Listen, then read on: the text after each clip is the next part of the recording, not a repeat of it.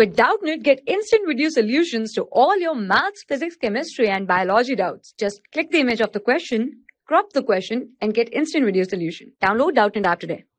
Hello everyone, here the question is the activation energy of a reaction is 50 kilojoule per mole, right? And the value of rate constant at 300 Kelvin is 2.5 into 10 to the power minus 5 second inverse, right? What is the value of frequency factor? That is A, right? So here the activation energy is given activation energy. Energy is given that is EA which is 50 kilojoule per mole right? And temperature T is given that is 300 Kelvin right? Or rate constant is given that is K which is 2.5 into 10 to the power minus 5 second inverse right?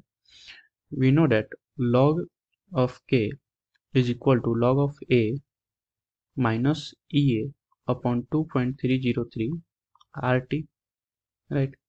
So we have to find the log of a right? So we write here log a is equal to log k plus ea upon 2.303 rt right so we put the values substitute the value here.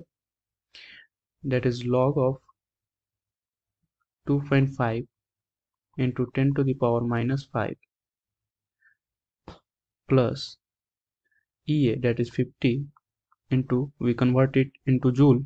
So we multiply by 10 to the power 3 upon 2.303 into R that is 8.314 into T300 right so after solving this uh, we get log a that is 3.88 3.88061 right? We have to find out the a so we take the anti-log of 3.88061 so with after taking anti-log we got sorry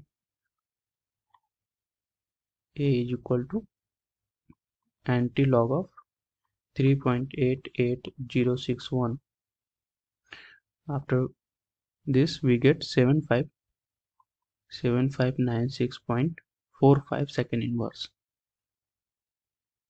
Sorry.